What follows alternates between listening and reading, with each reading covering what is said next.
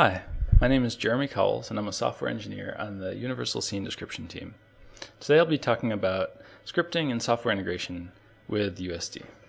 To give a little background, the target users we had in mind when designing the USD API were integration and pipeline software engineers, as well as production technical leads from crowds, sets, effects, and sim. The common thread across these disciplines is that performance is critical, Often they're dealing with issues of scale and need to get work done quickly. So additionally, common tasks need to be really easy. So to demonstrate how this has been manifested in the USD API, I'll show an example of traversing a scene, finding all the subdiv meshes, and reading some data. This is a common, a common task that you see in production scripts. So here I'm running Python, in this case, I ran PyPX30, but that's just our own kind of flavor of Python. And I'm importing the USD library and then opening a stage. In this case, I'll open the dorm room set from Monsters University. Next, I'll call stage.composeGraph, which goes out and finds all of the composed layers that have been brought in from this root layer, and that recursively traverses anything else that those layers might bring in as well. This doesn't actually read the data, it just simply builds a skeletal structure in memory so that we know where to look for values.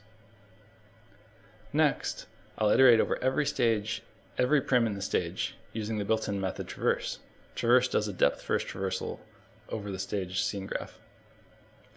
If the primitive is a subdiv, I'll next print out the prim's path using the built-in method getPath. And then I'll iterate over all the attributes that have been defined for this prim using the built-in method getAttributes.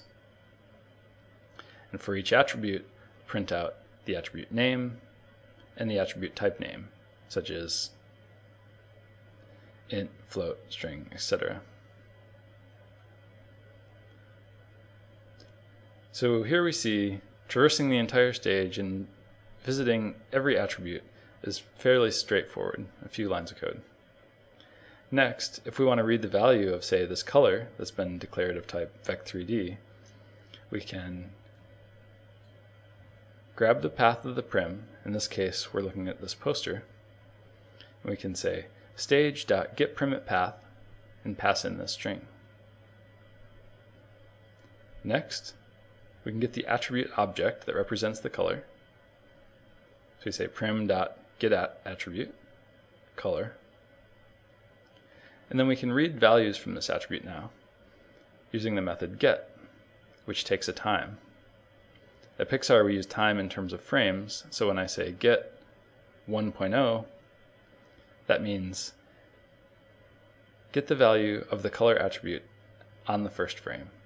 And here we see it printed out, the RGB value of the color. So this was a very simple example, though it is a common task. It only took a few lines of code. And I'd also like to point out that in C++, the exact same task is represented very similarly. This isn't a complex C++ API that's been simplified in Python. the C++ API has been wrapped directly out to Python. So if you know the Python API, you know the C++ API and vice versa.